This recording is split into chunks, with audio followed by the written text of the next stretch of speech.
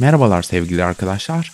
Evinizin bahçesi toprak bahçe ise çok rahat böyle bir süs havuzu yapabilirsiniz. Bu videomda size bu süs havuzunu nasıl yaptım ve bakımını nasıl yapıyorum onu anlatacağım. Yıllık bakım da gerektiriyor bu süs havuzu ama yılda bir de olsa ilgilenin yeter. Evinizin değerine değer katacağına da emin olabilirsiniz. İlgilenmeyecekseniz ise azıcık bir bakımı bile çok görecekseniz hiç yapmayın. Öncelikle havuzu yapacağım yere dikmiş olduğum ıhlamur fidesini çıkardım ve başka bir yere aktardım. Tuttu elbette çünkü çok titiz çalıştım, orası ayrı.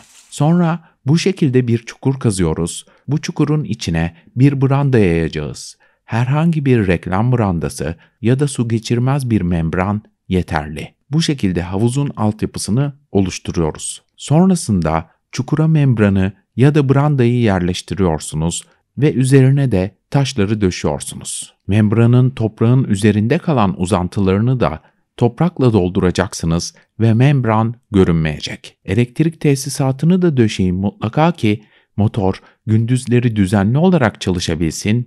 Bu durumda kabloya bir elektrik kablosu ilave edeceksiniz ve bu kabloların birleştiği yere de reçineli ek muf yöntemi denilen bir yöntem uygulayacaksınız ki elektrik kabloları su ile temas etmesin, herhangi bir sorun ileride ortaya çıkmasın. Devir daim motoru şart sevgili arkadaşlar. Bu motorları ya da havuz fıskiyelerini akvaryumculardan bulabilirsiniz. Havuzun etrafını komple taş kapladım ki çıkıp oturursam havuz kenarında ayaklarım çamur olmasın. Bu taşları döşemek oldukça basit. Uzun zaman sonra havuzun suyu bakımsızlıktan çamurlaşmıştı.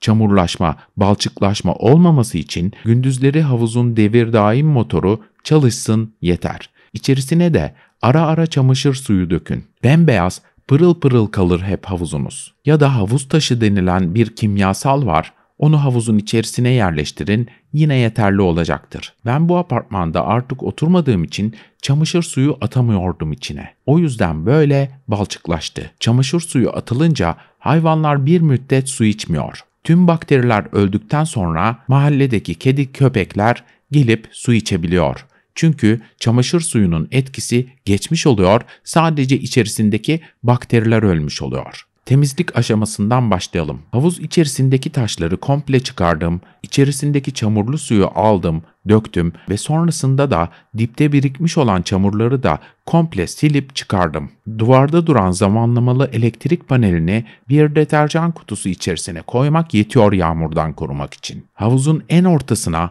en ağır, en büyük taşları yerleştiriyoruz. Hemen yanına da fıskiye motorunu, devir daim motorunu koyun ve yine başka taşlar arasına sıkıştırın ki oynamasın. Dilerseniz fıskiye motorundan, devir daim motorundan ayrı olarak bir de filtre yerleştirebilirsiniz aynı şekilde.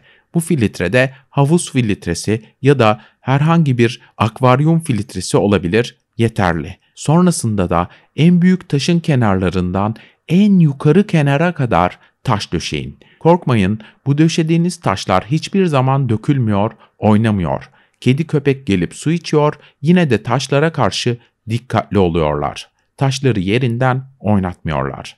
Taşları ve brandayı fırçalıyoruz. Taşları üst üste dizince böyle kuyu gibi görünüyor süs havuzumuz. Ama suyu doldurunca görüntü tamamen değişiyor.